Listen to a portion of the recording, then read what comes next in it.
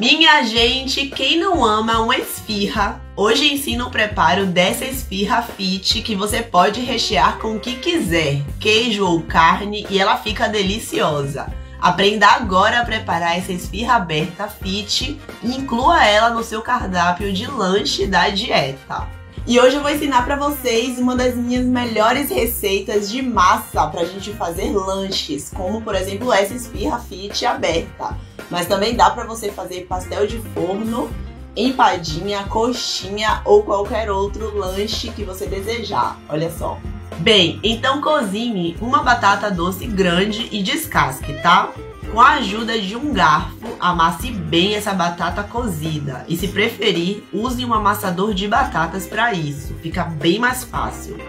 Agora adicione duas colheres de sopa de tapioca, dois dentes de alho picados, meia cebola picada, sal rosa a gosto, gengibre em pó a gosto e metade de uma colher de café de fermento químico e misture bem todos esses ingredientes. E eu aproveito para agradecer todas as mensagens que vocês me mandam e Roberta, muito obrigada por essa mensagem.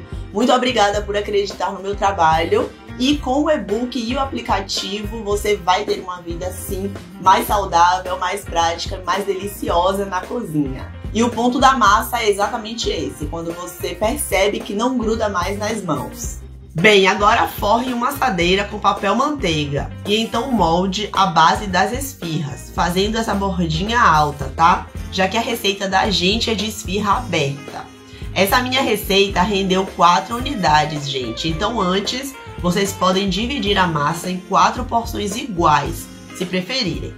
E com a ajuda de um garfo agora, faça furinhos na base para ajudar a assar ela corretamente.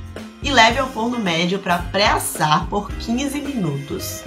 Bom, com as bases prontas e pré-assadas, agora é hora de rechear, né? E nada melhor do que queijo. Quem não gosta de uma esfirra de queijo? Sabor queijo é tradicional e eu tô usando o lanche sem lactose.